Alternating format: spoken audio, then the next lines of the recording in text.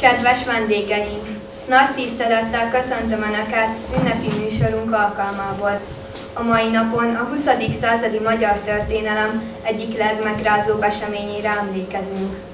Budapesti diákok egyetemekről kiinduló békés tüntetésével kezdődött, és a fegyveres felkelők ellenállásának felmorzsolásával fejeződött be. Az aránytalan túlerővel szemben egyedül maradt ország több napon át folytatott forradalma elbukott. Mai műsorunkkal azokról az emberekről emlékezünk meg, akik életüket adták hazánk szabadságáért. A hetedik osztály felkészítő tanára Bató Csanita.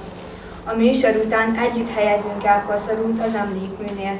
Tisztelettel felkérem Tajsz Ferenc polgármester urat, tartsa meg ünnepi beszédét. Jó napot kívánok, tisztelt Hölgyeim és Uraim, kedves ünneplő beremendiek! Köszönöm, hogy eljöttetek a jeles nap ünnepre, és együtt emlékezhetünk a magyarság 20. századi legvakmerőbb harcára. Amikor minden esztendőben erre a fényes napra, október 23-ára emeljük tekintetünket, azért tesszük, mert tudnunk kell, mert éreznünk kell, hogy milyen nagy dolog, mire királyi örökség is a szabadság, ami kötelez bennünket a hitre, kötelez arra, hogy keményen, tisztességesen dolgozzunk, tegyük a dolgunkat. Kötelez a munkára és becsületre. Együtt emlékezzünk 56-ra, merítsünk erőt 56-ból azokra a feladatokra, amelyeket együtt kell megoldanunk Beremenden. Legyen a mai nap méltó emlékezés és tisztelet azokért, akik feláldozták karrierjüket, szabadságukat, sőt életüket is, hogy megteremtsenek egy szabad, független, demokratikus országot. En gondolatok jegyében ünnepeljünk békésen és méltón. Most pedig az ünnepi műsor következik, és utána helyezzük el tiszteletünk jeléül koszorunkat közös megemlékezésünképpen. Köszönöm.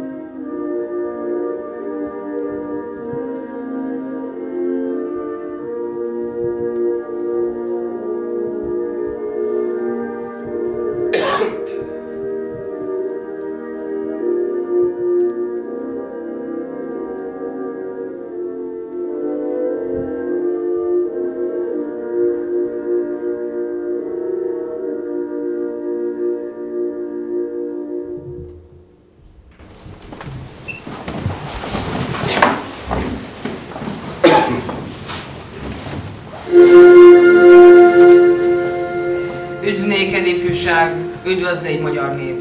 Kilángban és vérben születtél meg újra, három nagy éjszakán, vad ágyúdörgésben. Melyik nép írta fel mostanában nevét így, hogy aranyat adott kezébe Isten újja? S mely nép beszélt így az önmaga nevében, mint angyal, mikor a harsonát fújja? Búsigájának fájára írja hát, s mint annyiszor a megsárgult ezer évben, vérrel és vassal tanítja a zsarnokát. 1940. áprilisában véget ért a második világháború. Az országot megszálló szovjet csapatok segítségével olyan emberek kerültek hatalomra, akik rútul becsapták a népet. Függetlenséget, szabadságot, jólétet hirdettek, de valójában zsarnokság nyomorította az embereket.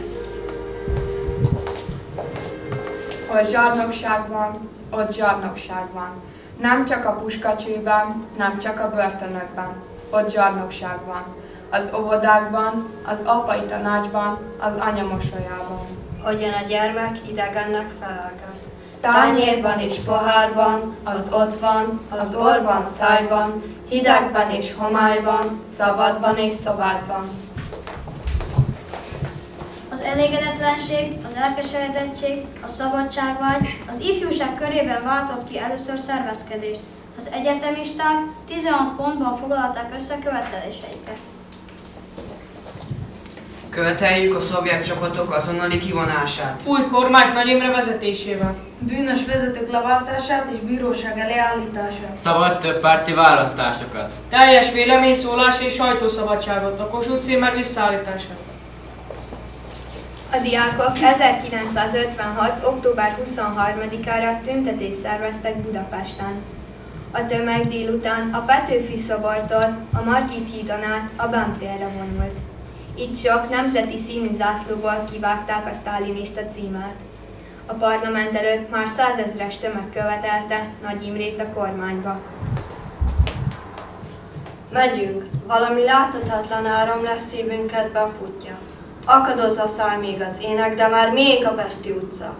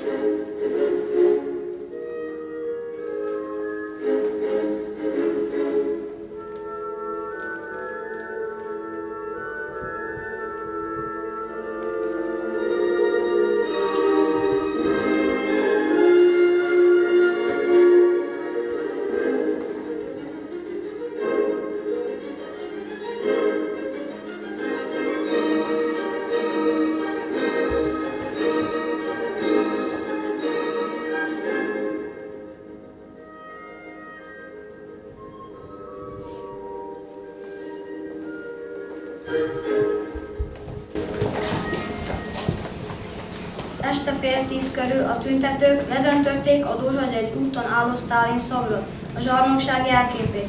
A rádiónál a 16 pont beolvasását követelték. Ezt azonban megtagadták tőlük. A feldőlődött tömeg jelszavakkal skandált. Nagy Imrét a kormányba, Rákosit a Dunába. Nagy Imrét a kormányba, Rákosit a Dunába. Ruszkik haza! Ruszkik haza! Sötétedéskor eldördültek az első lövések, megindult a fegyveres harc. Piros a vér a Pesti utcán, eső esik és elveri, mossa a vért, de megmaradnak a Pesti utca kövein. Piros a vér a Pesti utcán, munkások, ifjak vére folyt. A három színlobogók mellé tegyetek ki gyászlobogót. Másnap szovjet tankok vonultak be Budapestre a felkelés elfolytására. A főváros számos pontján fegyveres ellenállók vették fel a harcot. Közöttük sok volt a tizenéves pesti srác. Az inkább megfélemlítésnek szánt szovjet beavatkozás kudarcot vallott. Másnap szerdán reggel ágyúszó és szenvedés. Mégis mikor átvágtam a hősök terén, mosolyognom kellett, mert nem áll szobor többi a csizmában. Csütörtök. Lázrózsák mindenki arcán. Szemközt az iskola padlásán felfegyverzett gyerekek. Péntek. Még több vér. Tankok a ligetnél. Az ütegek torkolatüzeit nézem éjjel és borzongok. Hat nap. Röplapok. Szorongás. Szemem előtt kis tétó a szivárvány. Feltépett sinek, utcák, fölöttünk a szabadság lílium illata. 1703, 848 és 56. Egyszer minden száz évben talpra állunk kínzóink ellen. Bármi következik, boldogság, hogy megértem.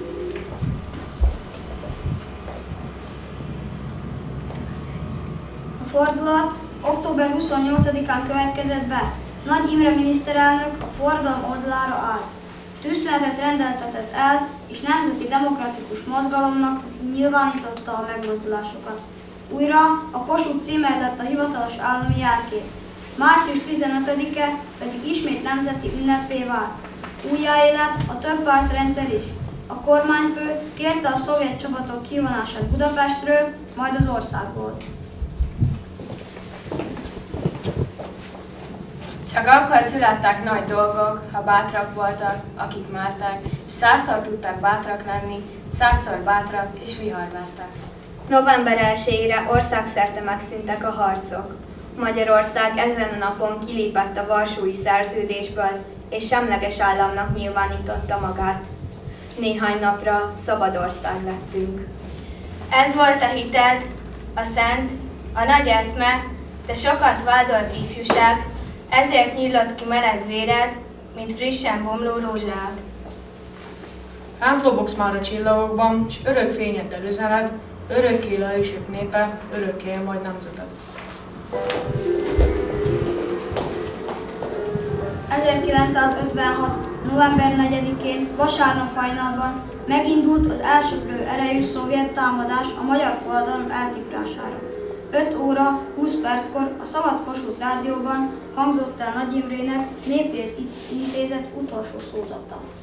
A túlerő egy hét alatt felszámolta az ellenállást. Novemberben szürkék az utcák, novemberben szürkék az emberek. Novemberben Budán és Pesten nevetni nem lehet. Novemberben égnek a gyertyák, kicsinyek, teltek, véznek és nagyok. Novemberben a földig hajolnak a sötét kalapok. Áldottak az özvegyek, kik a holtapák puskáját a fiak kezébe adták. A műhelyekben helyükre állnak, s mezőkre mennek. Az újdi tűztér általuk parázslik fel újra, s a fiatal búza beérik az olajfák árnya mellett. Áldottak a gyerekek, kik búgó csigáig, sarokba téve rohantak tankok ellen, s utolsó sóhajukkal anyjukat hívták és a hazát. Általuk szállnak vígba a lepkék, és ragyog a lég, s vígnevetés fecskéi ébrezgetik a rét virágát. Áldottak a munkások, kik testükkel harcolták meg az utca harcát, és az ismeretlen szabadságot a porból kiáltva hívták. Értük a gyárkéményeken új zsoltárok fakadnak, és a házak ablakán, mint napsüt be az igazság. Áldott légy Budapest, lerombolt falaiddal és megcsonkított szobraiddal, széttört hídjaiddal és földre sújtott tornyaiddal. Áldott légy Budapest, gyászodban, megkínzatásodban, szivárgó sebeidben, mert csorgó véred lemossa földünk gyalázatát, és halottaid nyomában biztos lábaddal indul a szabadság.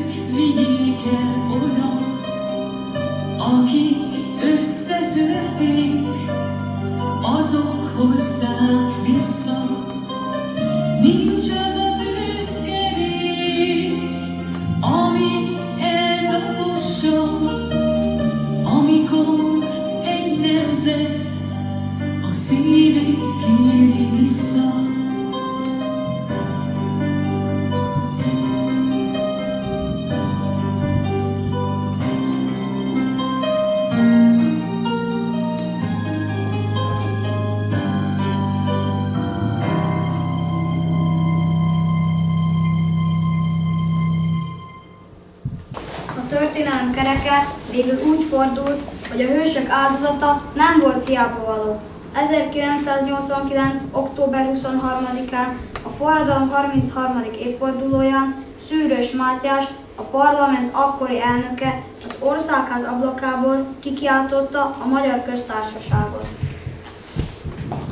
A legázolt, bilincsbe vett Magyarország többet tett a szabadságért és igazságért, mint bármelyik nép a világon az elmúlt húsz esztendőben.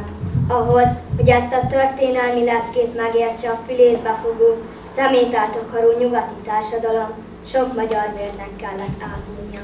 A magára maradt Európában csak úgy maradhattunk hívek Magyarországhoz, ha soha és sehol el nem áruljuk, amiért a magyar harcosok életüket adták, és soha, sehol sem igazoljuk a gyilkosokat. Nehéz mi nekünk méltónak lenni ennyi áldozatra. Hisszük, hogy valami bontakozik a világban, bontakozik az élet, és meggyőzés ereje, az emberi felemelkedés hatalmas mozgalma, melyet kultúrának nevezünk, és amely a szabad alkotás és szabad munka terméke. Műsorunkat a koszorúzással folytatjuk.